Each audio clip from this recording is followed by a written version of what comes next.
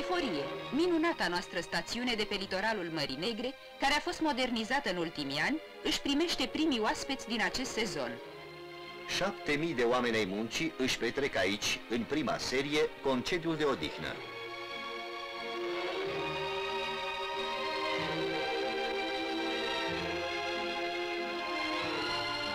O frumoasă amintire de pe litoral din zilele vacanței.